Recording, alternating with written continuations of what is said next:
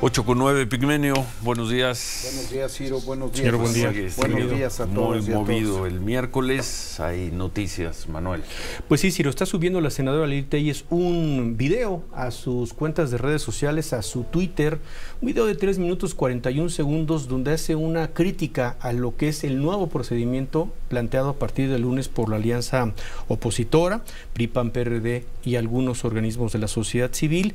Y ella dice, planteé 50 preguntas preguntas y las 50 preguntas no hubo una sola respuesta. Pero ayer nos dijo, a ver, perdón, ayer nos, dijo, aquí en entrevista que esperaba una respuesta, no que esperaba una respuesta en 24 horas.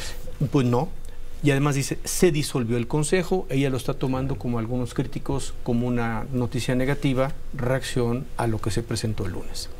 Y dice que con toda esta serie de factores de decisión, dice que hoy a una semana del inicio del proceso, y estoy leyendo lo que ella dice, todavía se desconocen condiciones generales de garantía de seguridad. A dos meses de definir al ganador, no hay árbitro, lineamientos técnicos ni procedimientos delimitados. Ante estas circunstancias, ya he decidido, dice Lil Telles, que no participaré en este proceso, que no participaré en este proceso. El fin no justifica los medios.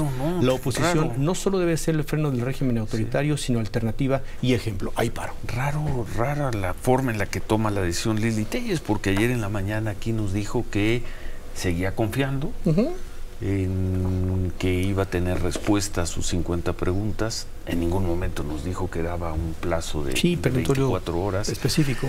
Luego al mediodía estuvo con Joaquín, Joaquín López Dóriga y dijo que participaba, que estaba muy entusiasmada con las dudas que ya había expresado.